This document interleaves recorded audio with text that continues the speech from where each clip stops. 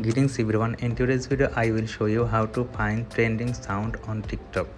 Before we get started, please subscribe our YouTube channel. So first of all, you have to open up TikTok app. Next, you want to tap on search here at the top right.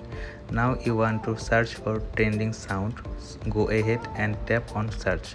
Once you get some result at the top here, you are looking for the sound style. Go ahead and tap on it once you do this you will get all the trending sound in your results. So go ahead and browse through them and select the one you want to video. Now, once you are happy with it tap on it and then tap add to favorite. And then later on by doing this you can use the sound in your video which you create. And so that is how to find trending sound on tiktok so this is the video for today. Thanks for watching this